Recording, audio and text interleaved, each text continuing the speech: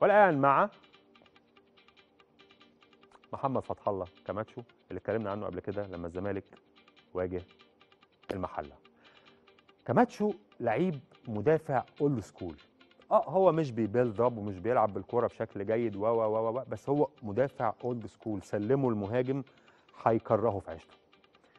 سيء جدا من وجهة نظر المهاجم يعني. على مستوى الالتحامات على مستوى الكرات العالية على مستوى ال block هتلاقي رقم كبير جدا في ال block. مجرد ال block انه يقف يتوقع التسديدة فين ويعمل عليها block. مدافع old school على أبوه على أبوه. محمد فتح الله هو تاني أكتر لاعب فوزا بالالتحامات الهوائية ب 20 التحام والثالث على وثالث أكتر لاعب استخلص الكرة ب 239 استخلاص. إحصائيات محمد فتح الله بتقول إنه لعب 17 مباراة استخلص الكره 256 فاز بالالتحامات الهوائية 20 أنقذ 25 فرصة.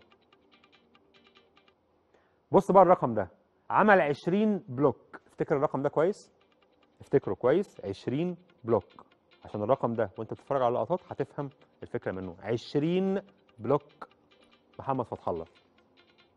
20 block ثلاث محاولات على المرمى منهم محاولة واحدة صحيحة وصنع ثلاث فرص. هو بالكورة مش أفضل مدافع لكن هو كمدافع هو مدافع صعب جدا على أي مهاجم زي ما هنشوف دلوقتي. محمد فتح الله كماتشو. محمد فتح الله كماتشو في وضعية الدفاع هو اللي هيطلع الكوره دي بالهيد من أمام المهاجم.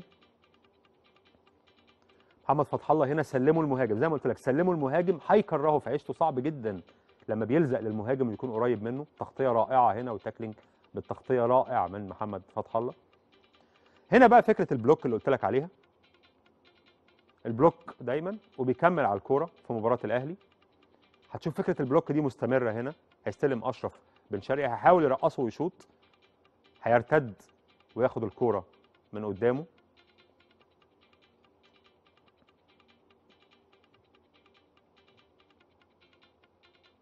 بال- بال block بيقطع الكورة. وكان في لقطة كمان لمحمد فتح الله في داخل ال 18 من تسديدة ل آه، لإمام آه، عاشور. مدافع old school كما أنزل. يضايق جدا المهاجم يلتحم معاه في كل لحظة رخم مش هيريحك.